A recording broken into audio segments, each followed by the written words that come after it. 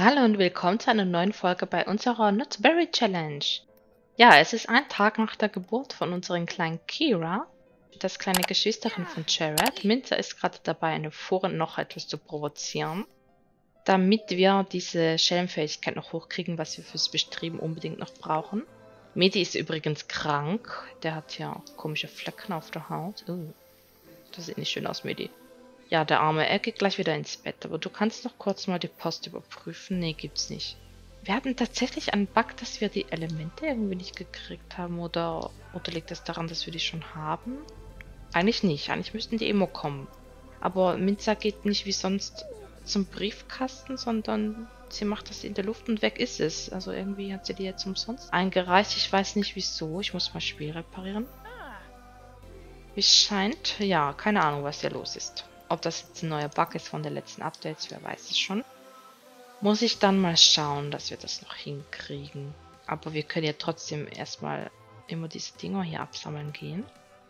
Wobei eigentlich ein Tag in der Wüste ganz gut wäre, wenn wir noch mehr solche Dinge absammeln könnten. Hier war doch noch einer, oder? Der ist vielleicht noch nicht wieder da. Ja, eigentlich wäre es schon gut, wenn wir nochmal in die Wüste gehen würden. Medi Arbeit. Medi, du bist krank. Naja, egal, jetzt ist er schon weg. Ja, die kleine Maus, will ich noch älter werden lassen heute. Vielleicht gehen wir erstmal in die Wüste und dann lassen wir die kleine Mausi älter werden und dann schauen wir mal, wie sie aussieht, wenn sie älter ist.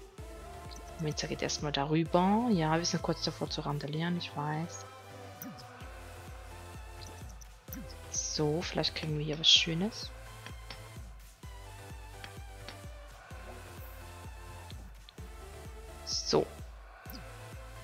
Dann gehen wir jetzt erstmal ein bisschen noch in die Wüste. So, ich habe mal eine andere Nachbarschaft gewählt. So, die Kinder sind zur Tagespflege gegangen, diesmal wirklich. Und ja, ich hoffe einfach mal, hier gibt es auch solche Dinge rein. Aber wenn nicht, müssen wir wieder in die von vorher. Ich dachte, dann können wir hier mal etwas anderes zu Gesicht bekommen als sonst. Aber ich glaube, hier sieht es eher schlecht aus. Hier ist auch alles grün, ja. Liegt es daran? Hm. Blöd, dass wir nicht in einen alten Arbeitsplatz gehen können. Hätten wir vielleicht erst die Elementsammlung machen sollen, bevor wir hier mit Aliens Sachen gemacht haben. Die wir nicht hätten machen dürfen. Und dann wurden wir ja gefeuert. Angeln kann man hier aber sehr viel. Nee, hier scheint nichts zu sein. Ja gut, dann gehen wir halt doch in die andere Nachbarschaft. Ich dachte nur, wir sehen ja mal was anderes. So, das müsste hier sein. Wo wir letztes Mal waren. Ja, sieht gut aus. Ich weiß nur nicht mehr, wo die ganzen Dinger standen. Winzer. Wir müssen suchen. Sind überhaupt schon wieder da? Eigentlich sind ja ein paar Tage vergangen. Aber wenn man sich halt nicht aktiv hier befindet, kann es sein, dass es eine Weile dauert, bis es wieder da ist. Genauso wie mit den Pflanzen übrigens. Wenn hier solche kleinen Pflänzchen sind, dann wachsen die ja nur, wenn du aktiv hier bist. Da musst du immer eine Weile hier sein. Hier die Christian Sehne zum Beispiel. Musst du immer eine Weile hier sein, damit die Sachen wachsen. Ah, scheint echt so zu sein. Die sind keine Dinger mehr. Hm, wie doof. Haben wir vielleicht welche übersehen? Sieht ja nicht so aus.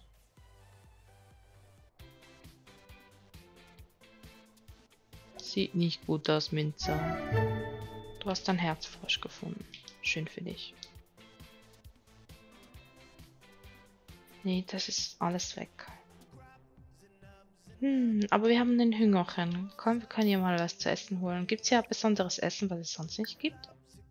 Käsepizza. Hier, hier habt ihr eure blöde Pizza. Karottentöpfe. Kürbissuppe, Hummerrolle. Hm, nimm mal eine Hummerrolle. Wobei, das geht nicht. Du bist Vegetarierin. Nee. Ich dachte nur, vielleicht können wir das dann selber auch machen. Manche Rezepte kannst du dann ja erst machen, wenn du sie mal gegessen hast. Dann nehmen wir halt diese Kürbissuppe, die ist lecker. Bitte einmal eine schöne Kürbissuppe. Dankeschön. Ja, ignorieren Sie bitte das Knurren. Ja, sind ganz normal. Ja, wir schlingen hier die Suppe runter. Oh je, du schaufst das ja richtig rein. Nee, scheint aber nicht so ein besonderes Rezept zu sein. Ich glaube, nur die aus Großstadtleben sind so. Aber ich glaube, Mount Komorebi war auch so. Hier ist ein Steincreme. Komm. Wir graben nicht nach Schatz, das ist blöd. Ja, ich schicke die jetzt noch nicht ein. Dann tue ich am besten mal schauen beim anderen Computer, ob das auch so ist. Und wenn nicht, dann werde ich mal herumexperimentieren, woran das denn wieder liegt. Immer diese kleinen Bugs, ist ein bisschen nervig. Aber solange es nur so Kleinigkeiten sind, kann man ja damit leben. Alternativ, wenn das jetzt gar nicht halt, da schreibe ich mir halt auf, was wir schon haben. Und dann sammeln wir halt die Sachen hier ein und schauen dann, was wir noch nicht haben und was wir da nicht haben, können wir dann ja den kleinen Würfel da einfach ercheaten. Also, dass wir das Georat halt umgehen. Wenn das jetzt verbuggt sein sollte, tatsächlich. Ich muss auch mal schauen, ich habe gar nicht geschaut beim EA-Forum, die aktuelle Bugliste. Ja. Sollte man eigentlich im Auge haben. Minza hat mal Geburtstag. Nein! Minza, du darfst nicht Senior sein. Na, entweder wir zögern uns jetzt noch ein paar Tage raus, weil die Kinder halt noch so jung sind. Sie muss ja noch mit dem Enkelkind Zeit verbringen können. Oder sie ist halt ewig lang Seniorin. Aber ich würde eher sagen, wir zögern uns jetzt noch ein bisschen raus. Das können wir gleich mal hier ercheaten. Alter festlegen. Alter in Tagesspanne. Oh ja, sie ist am 30. Tag von 30. Wie viel machen wir sie denn darunter? 25 vielleicht, oder? So. Fünf Tage mehr Lebenszeit, Minza, wenn du nicht vorher drauf gehst. Aber sofern du an Altersschwäche irgendwann stirbst, hast du ein paar Tage mehr bekommen. Ja. Die sind keine Steinchen mehr. Gab es hier unten nicht auch diese Höhle? War das diese Nachbarschaft? Ich glaube nicht, oder? Nee, ich glaube, das war nicht die. Da gab es diese Grotte oder was das war. Nee, das ist nicht die. Das ist diese schickimicke Nachbarschaft, glaube ich. In der Welt. Was treibst denn du hier? Du bist ja... Okay. Macht ja Fitness, wie es scheint. Ja, dann geh doch angeln. Wenn du hier schon warten musst, kannst du hier ein bisschen Geld verdienen.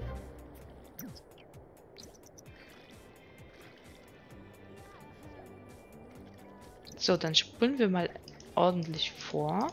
Minze, was machst du da? Pinkelt dahin. Okay. Den musste wohl mal. Wir haben ein paar Fische bekommen, habe ich verkauft. Medi wurde befördert zur Titelblattautor. Super, Medi. Wir haben Geld gekriegt. So, Medi hütet zu Hause jetzt die Kinder. Ich hatte gerade auch die Idee, dass wir vielleicht einfach ein bisschen heute auch schummeln und ins Reich der Magie gehen. Und zu Hanford und Beckley. Jetzt ist es aber schon Abend, also werden wir wohl... Obwohl, Hanford und Beckley hat bis 19 Uhr, glaube ich, offen, oder? Ich probiere es mal noch, dass wir die Shops da anschauen, nämlich. Und ansonsten geht's ins Reich der Magie. So, oh, der Erik, aber wir quatschen nicht nachher an, weil ich glaube, der Shop hier macht bald zu. Schließt um 19 Uhr. Na gut, aber wir können nachher den Erik bezirzen.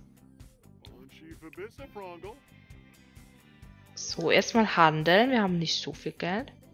Erik, du darfst nicht weggehen. über Liebesleben beschweren. Er ist ja der Kumpel von ihr. Und von Medi eigentlich auch.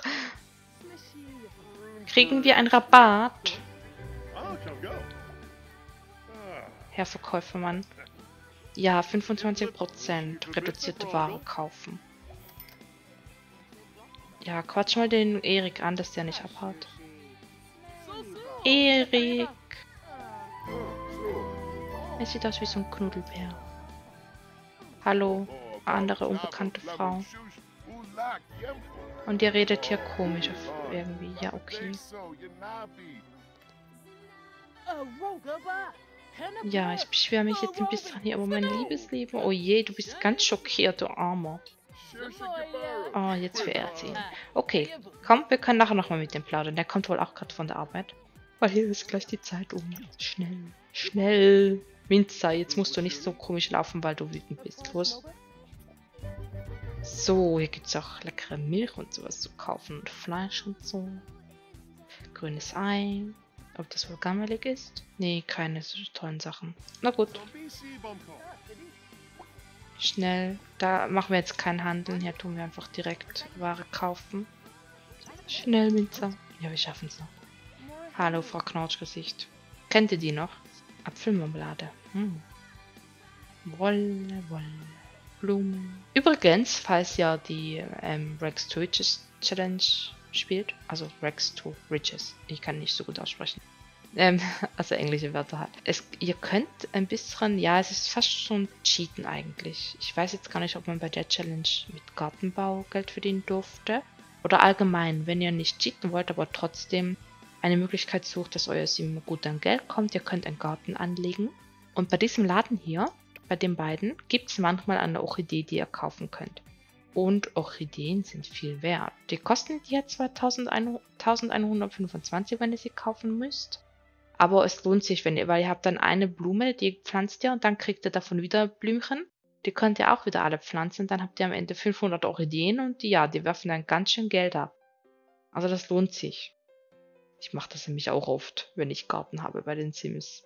Oder Rosen. Rosen ist natürlich die günstigere Variante davon. So könnt ihr gut Geld verdienen. Ich meine, es braucht nicht so viel Arbeit. Nee, die haben auch keine Steine. Na gut, ab ins Reich der Magie. Mal schauen, ob die Werwölfe uns komisch ansehen, wenn wir da einfach hingehen. Äh, die Werwölfe, die Magier. Weil wir Werwolf sind, so rum. So, wir sind hier nach Glimmerburg gereist und es schneit. Ui. Cool. Wir lieben Schnee. Nur nicht in echt. Schnee ist zwar hübsch, aber es ist anstrengend. So, kommen wir hier hin. Ich habe auch gern Schnee, aber auch nur, wenn ich nicht raus muss. Ja, es ist für mich halt so anstrengend, mich davor zu bewegen. Wenn die, wenn die Wege gepfattet sind, dann geht's. Also, wenn die halt freigemacht wurden. Nein, Krisenbewältigung. Die Midlife Crisis ist vorüber. Und sie durchlebt eine Rückbildungsphase, in der sie darüber nachdenkt, wer sie ist und wo sie im Leben steht. Schön für dich, Minza dass du sie überwältigt hast. Äh, bewältigt hast. Hallo, du gehst wohl hier gleich Skifahren mit deinem Anzug hier? Mhm. Ja, wollen wir dann auch mal machen. Ist ja bald soweit. Na gut, in Montgomery gibt's, gibt's immer Schnee. Jedenfalls im Berg oben.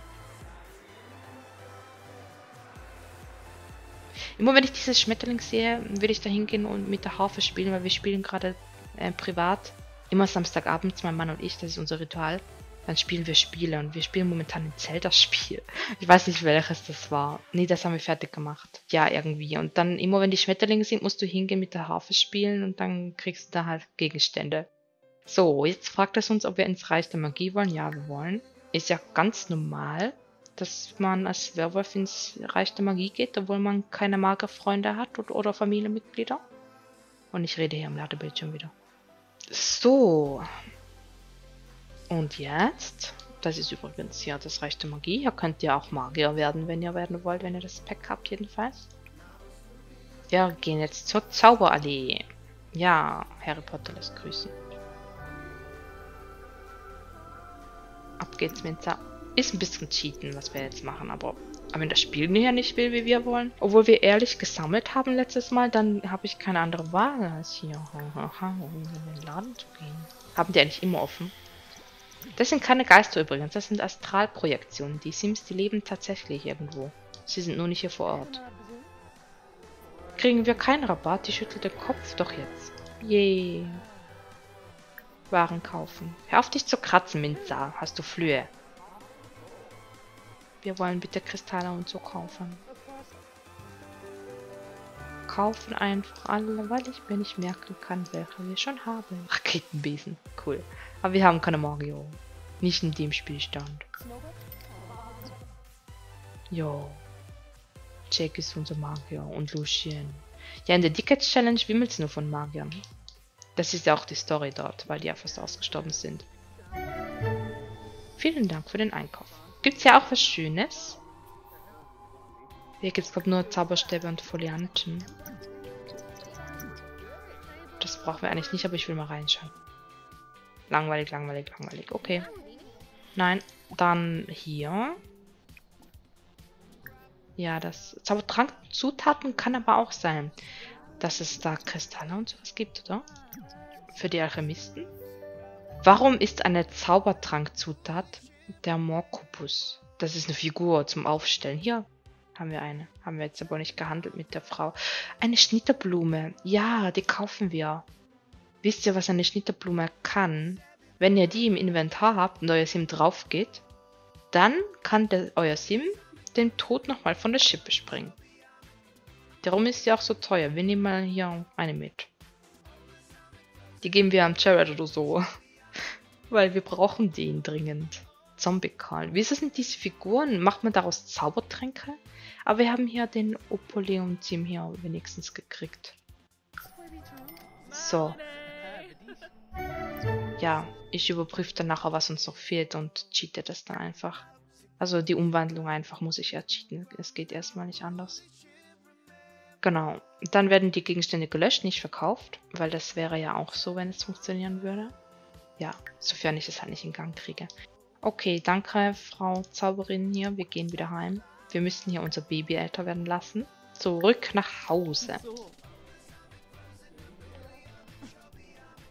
Ja, wir sind sowieso kurz davor zu randalieren. Aber Werwölfe sind ja mit Magiern nicht verfeindet. Im Gegenteil, die Werwölfe sind ja laut, also das habe nicht ich erfunden, das haben die, die Entwickler, die die Story geschrieben haben, so festgelegt. Werwölfe bei Sims äh, stammen ja äh, von Magiern ab, also nicht abstammen, sondern sie wurden erfunden von den Magiern.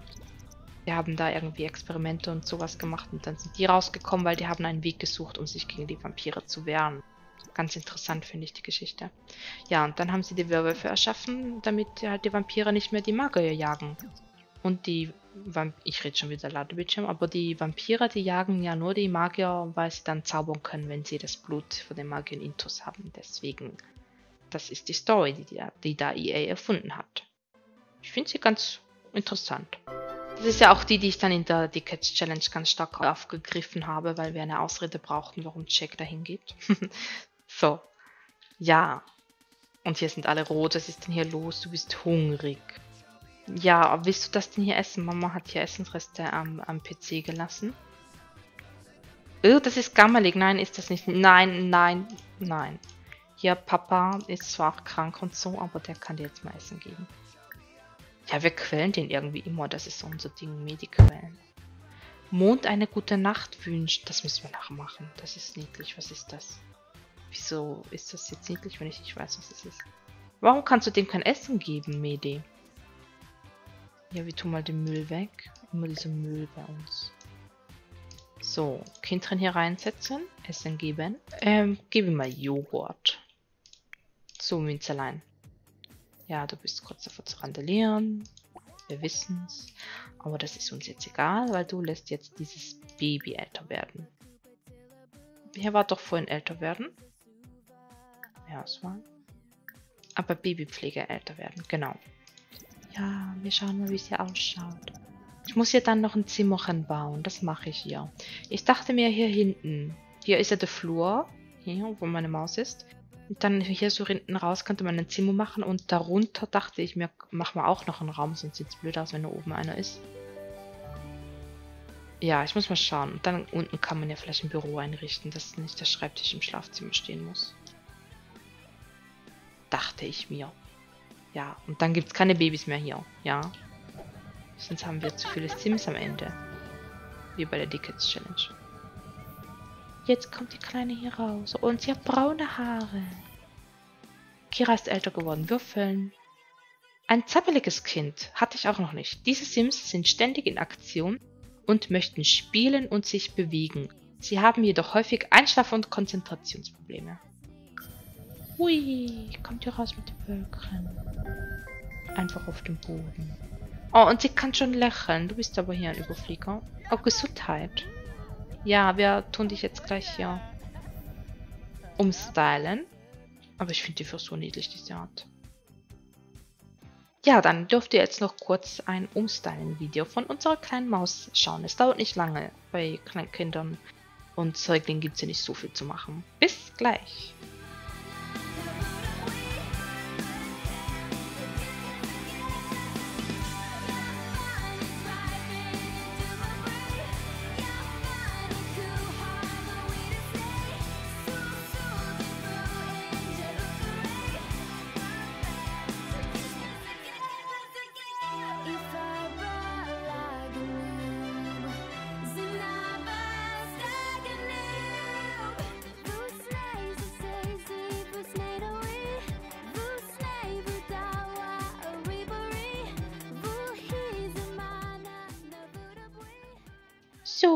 Kleine Maus ist umgestylt und jetzt platzieren wir noch kurz ein Bett dran für dich. Erstmal hier bei den Eltern, das geht nicht anders. Kann ich dich ja wegtun, du liegst hier, das doof. Objekt nicht gefunden. Naja, sie wird dann schon weggedrückt. Passiert hier nichts. Ähm, Kinder brauche ich Bettchen für kleine Babys. Ja, das Bettchen ist erstmal blau, solange es noch hier drin steht in diesem Zimmer. Zwar doof mit diesen ganzen Fenstern wieder. Aber es steht hier ja noch kurze Zeit, von daher. Ja, ja, aufs Baby gestellt, so. Färben wir dann um, wenn sie ihr eigenes Zimmer kriegt, dann kriegst du auch wieder rote Sachen. So, dass die Kleine erstmal versorgt ist, ja. Die muss ja nicht auf dem Boden schlafen. Ach so, aber wir brauchen dieses Dings wieder. Das haben wir jetzt verkauft. Wieso habe ich das verkauft? Damit wir sie tagsüber unter dieses Spielzeug da legen können. Wo ist denn das? Dieses Bett drin? Bett drin für Kinder. Oh, das Puppenhaus ist schön. Das stellen wir dann ins neue Kinderzimmer. Ja, und wir kaufen nochmal so ein Tablet. Ja, das wird ein Tablet, Kinder. Aber so kann man die halt schön leveln in Sims. Aber hier ist es auch nicht. Doch, unter Spielsachen ist es drin. Ja, das Ding. Wusstet ihr, dass sich darin Katzen und Hunde auch hinlegen können?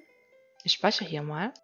Der Baumodus ist noch ein ganz bisschen, ja, er, es leckt ein bisschen. Aber er geht soweit wieder an dem Computer. Irgendwas hat geholfen, was ich da gemacht habe. Aber nicht so ganz, es ist immer noch komisch. Das hier, hier, schaut mal, bitten hinzulegen. Tschups. Mach das mal. Ich habe das zufällig gesehen. Ich habe gestern nämlich Sims gespielt. Bei meinem Privatspielstand. Da habe ich auch ein Säugling gerade und da habe ich gesehen, dass das für Tiere steht.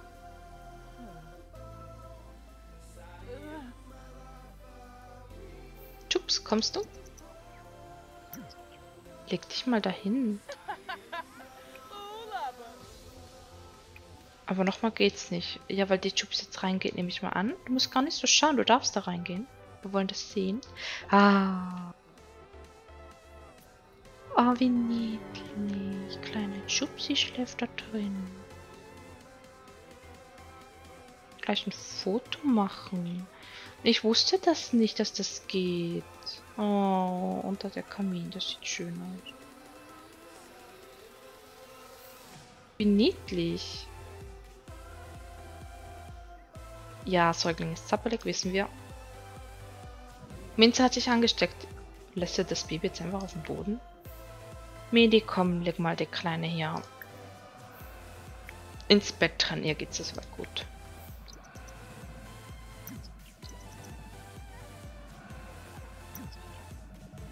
So, kleine Kira, wir legen dich hier rein. Hui.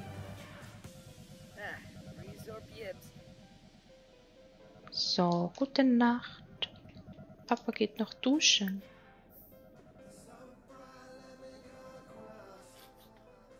Ja, und dann auch ins Bett, damit ihr eure Krankheit hier auskurieren könnt. Der Jared ist noch wach. Du bist ja... Oh, die haben dich vergessen. Die haben das Kind vergessen. Ich, nee, lass dich hier raus. So. Der Arme. Ja, kein Wunder, dass der Jared hier auf seine eigenen Kinder vernachlässigen wird. Der wurde selber auch nicht gerade, ähm, ja, gut umsorgt, wie es aussieht. Komm her, kleiner Mann. Ja, ich lasse noch ein bisschen Fähigkeiten leveln. Wann hast du Geburtstag? Ein Tag hat er noch.